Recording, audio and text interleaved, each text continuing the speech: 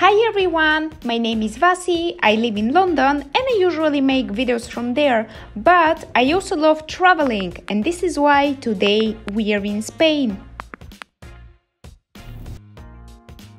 Curious gang, today we are in the city of Valencia and we're going to explore the street food and especially the market because if you have been following me for a while you would know how much I love street food and especially markets and the market here in Valencia it's one of the oldest markets in Europe. Grab a fork and let's go!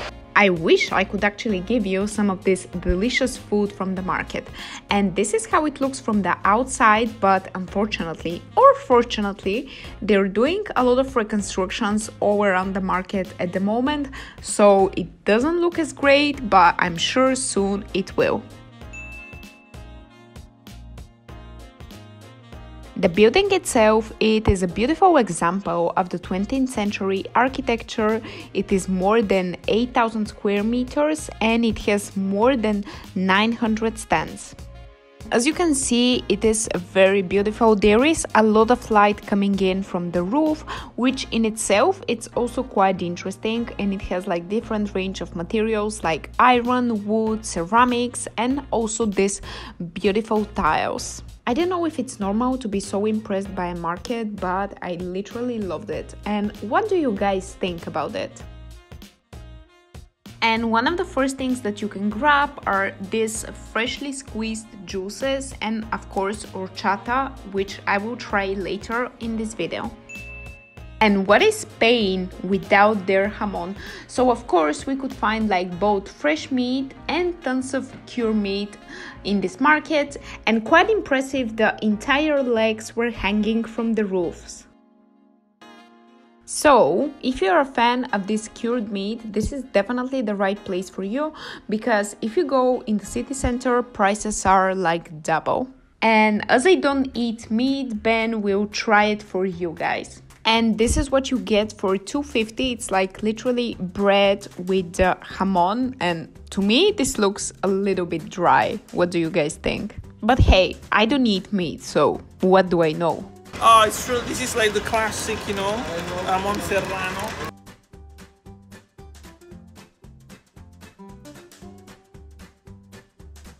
How is it? yeah really good So this whole bocadillo, as they call it, is 250. Mm. And do you think there is enough jamon? it's fair it's fair because it's really strong so you need some olive bread it's fair yeah The tomatoes that I'm touching in there, in the end, we actually bought them and they were so delicious. I cannot explain to you how sweet they were. And overall, prices were not very low, but definitely totally worth it for the quality that you get. The first time that we went to the market was Monday, but unfortunately there wasn't any fish, so we had to go back to film the videos that you see at the moment. But I think it's pretty popular thing for tourists to film the fish because many of the sellers were getting quite angry or had signs not to film the fish, which honestly I haven't seen in any other market. And this was my time to get something sweet. So, the first things that we got baklava and also a date which is all filled up with pistachio. and that's for me And Ben got this, I'm so surprised. why Yeah, dates are usually my thing. How is it? really interesting Is it similar to the one that I made? Mm -mm. yours are sweeter Really? What's right? Yes. And yes, you can laugh at me, I know I look ridiculous here.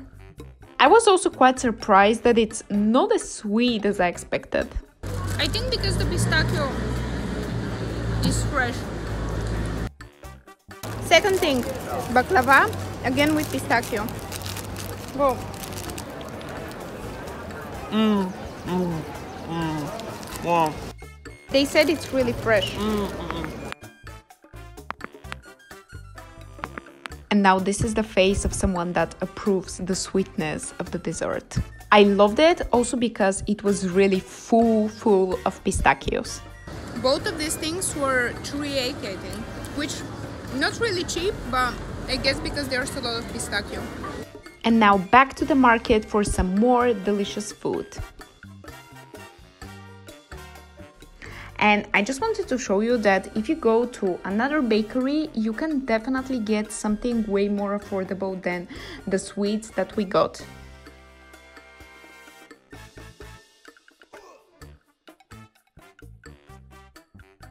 And do I even have to tell you that the cheese selection was also great? We got fresh goat cheese and it was just incredible. It was so fresh and authentic that you could actually feel the taste of the milk, which is not something which usually happens when I eat cheese. At first, I wanted to put these videos into order, but then I was like, you know what? The market itself was all like that, all over the place. From one side, you have potatoes, from the others, you have sweet, then paella, and then some meat, but all delicious. So, yes, you're very welcome, some authentic market experience a very very crucial ingredient for making an authentic paella is saffron and it is also known as red gold because of its price. And depending on the quality that you get it will usually cost you between 7 and 20 euros per 1 gram. Yes you heard me correctly like 1 gram is around 10 euros Due to the low budget of this video, we won't be testing out the saffron, but what we could afford is tortilla made of potatoes.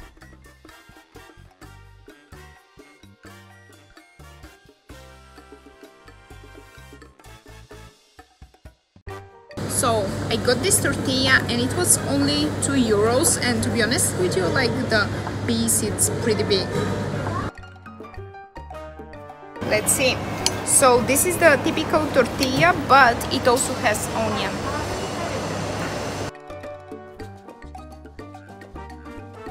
Not bad. And the piece is pretty big. Not the best tortilla I have ever had because it was pre-made, but hey, it was not bad at all.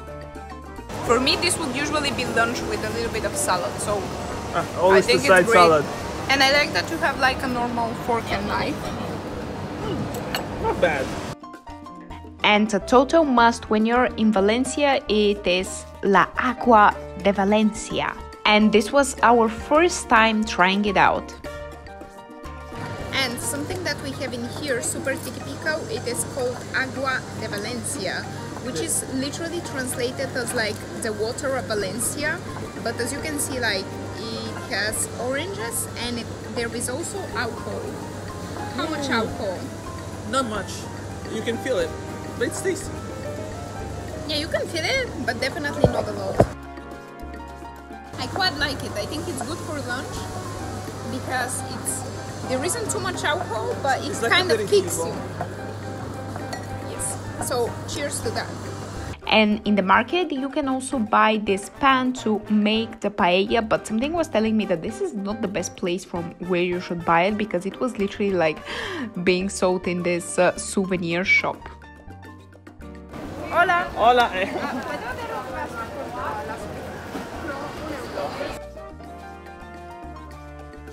So this is only one euro. How cool is that? Amazing.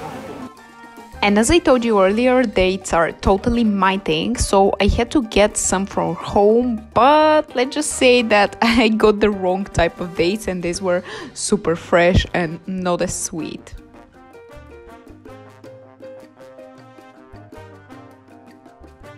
And what is the most typical Spanish dessert that you can think of? I hope that it's churros because this is what we'll be testing out for you, but this will be the real authentic ones.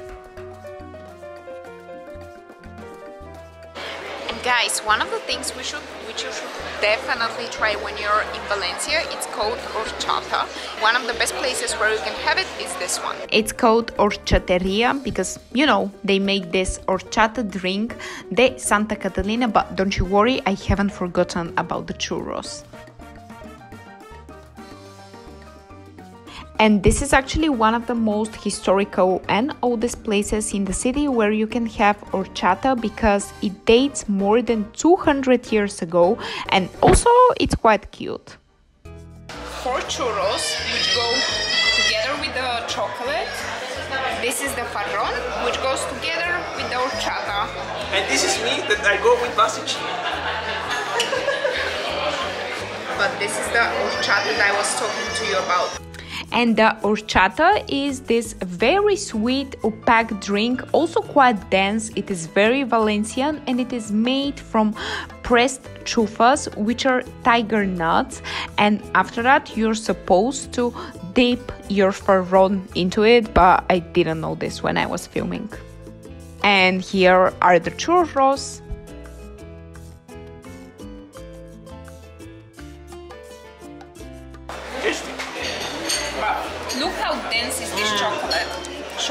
This is what I like. It's dense. It's thick. And I have to say, like, it was really delicious. And despite it being fried, it was still pretty light. I don't know how is it possible, but they managed to do it. And I think the chocolate was one of the best parts about it.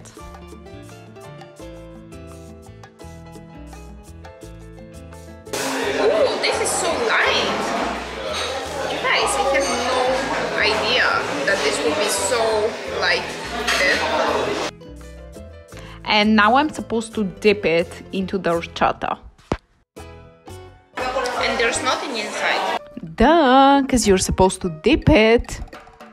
I don't know why I thought it would have some kind of feeling. But this one is totally worth it. And this is why this place should be a must.